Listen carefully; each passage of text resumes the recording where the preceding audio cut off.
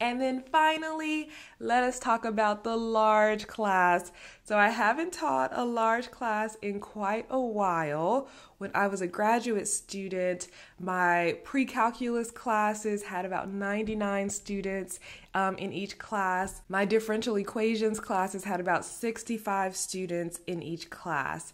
And so, what I would do here is I would do a lecture based um, class. However, I had a lot of mini breaks. Like every maybe uh, 10 or so minutes, I'm stopping and I'm having the students practice some problems on their own or do a think, pair, share where the students work on their own, check their answer with their neighbor. If they can't agree, then I'll go over it with the group.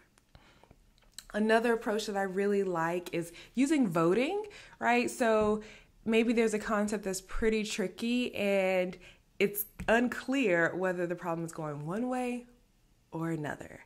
And so, just getting a poll of the students who thinks the answer or the next thing to do is this? Who thinks the next thing to do is this? And then we see, like, okay, interesting, interesting.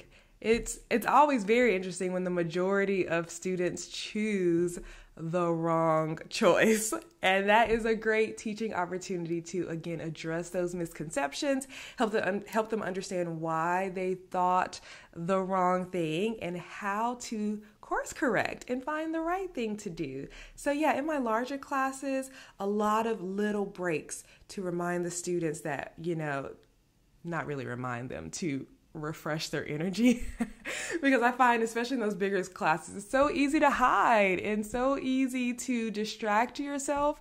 And so, by doing those smaller breaks every 10 minutes or so, I'm recapturing the students' attention, they're engaging, and they're able to formulate questions during class.